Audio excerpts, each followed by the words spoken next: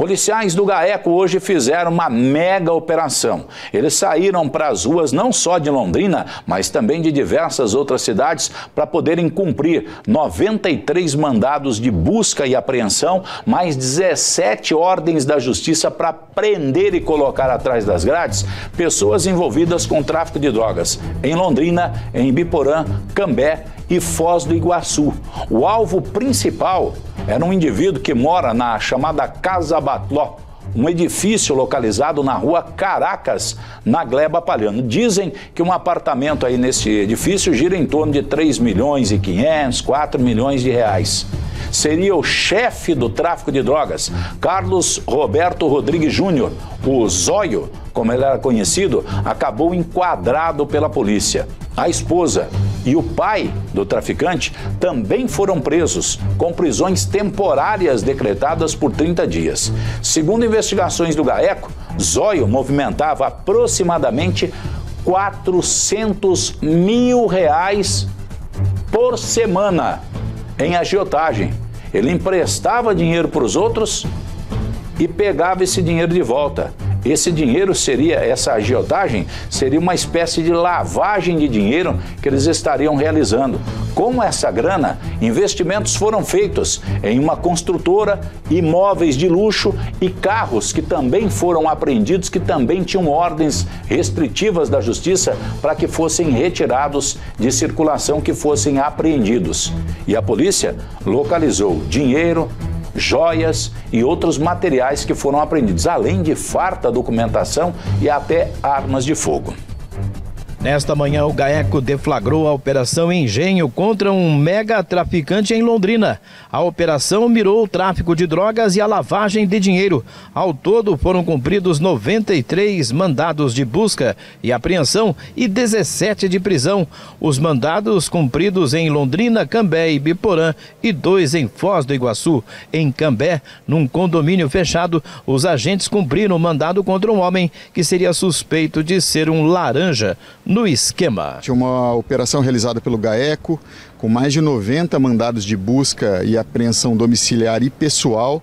Temos aí 17 mandados de prisão temporária em uma associação criminosa que visa aí o tráfico, é, é, comércio irregular de arma de fogo. Temos indícios também da prática de diversos crimes e de forma cometidos de forma serial de lavagem de dinheiro oriundo de, desses crimes antecedentes.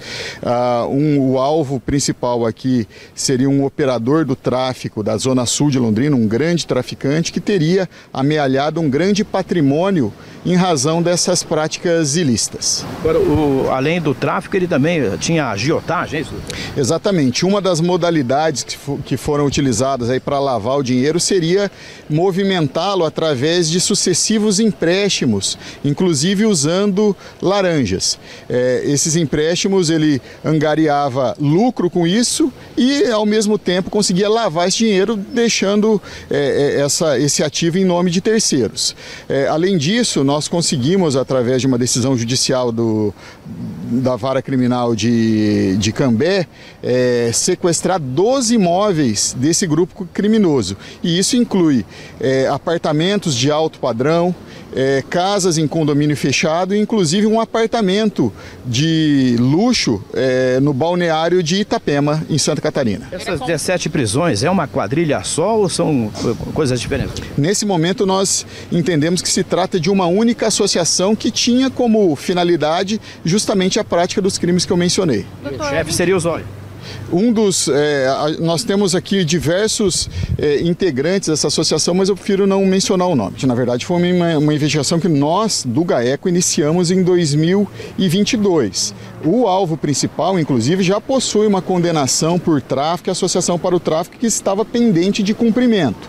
É, em razão é, de, do, do, detalhamento e também da forma como eles agiam, é, de uma forma já empresarial, com lavagens de dinheiro muito bem é, executadas, há um tempo necessário para essa investigação. Então, uma boa investigação que permite um resultado como o de hoje, com 90 mandados de, de, de busca é, cumpridos e 17 prisões, demanda um certo lapso temporal. Nós temos é, a constituição de diversos laranjas, pessoas que emprestavam o nome para o, o ator principal, aí, para, o, para o investigado principal, lavar esse dinheiro, registrar esses bens em nome de terceiro. Temos empresas é, de fachada que por onde circulava o dinheiro ilegal e isso, inclusive em outros estados, empresas sediadas em outros estados eram utilizadas aí para circular esse dinheiro é, pro, que provinha de ilícitos penais anteriores. Então,